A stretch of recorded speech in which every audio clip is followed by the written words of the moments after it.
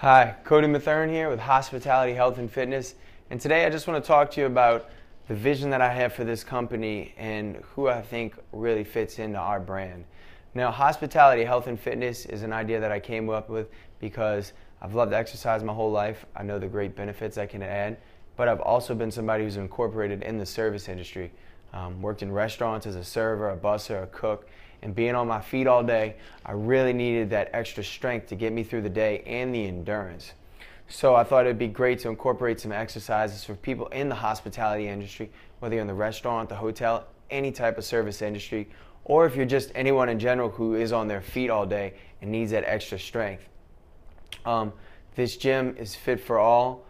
What we really believe in, we believe in building efficient scientific programs but we also believe in recovery and relaxation because even though you are on your feet all day, you do need a great relaxation component. And we've got some excellent choices for you, whether it be our cold water pools, some hot tub, because who doesn't like the hot tub, the infrared saunas, and then we have some excellent trainers who have come up with just some brilliant programs for you.